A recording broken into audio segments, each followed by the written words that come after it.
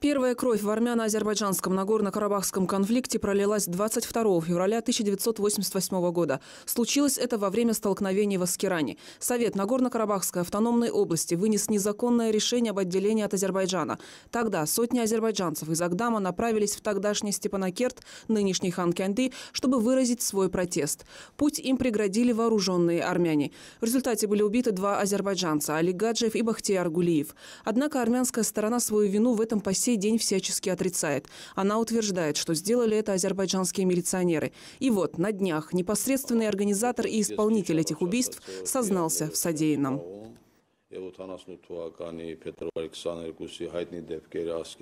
События 22 февраля 1988 года достаточно знаменитые. Так вот, организатором, убийцей, тем, кто стрелял в людей, был я. Тогда открыли следственные дела, специальная группа приехала. И расследование этих дел продолжалось вплоть до 1991 года, пока не были выведены части Советского Союза.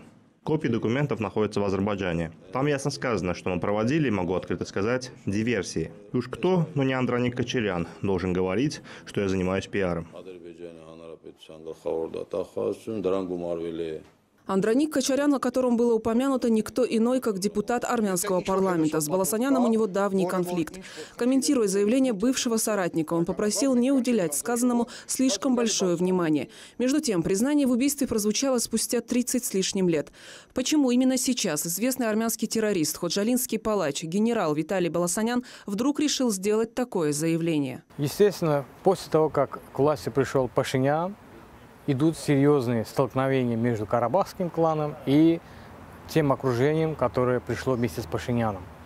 Следует отметить, что часть старой элиты тоже перешла на сторону Пашиняна, и в рамках вот их риторики и противостояния э, Виталий Баласанян выдал то, что давно мы все ожидали и знали. Часть прежней команды карабахского клана готова назвать имена заказчиков, уверен Резван Гусейнов.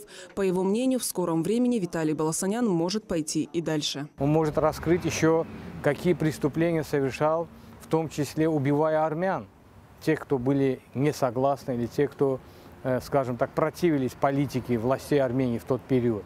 Поэтому я считаю, что вот это высказывание Баласаняна, оно в первую очередь как бы угроза тем силам внутривластной элиты Армении, чтобы они не давили на карабахский клан.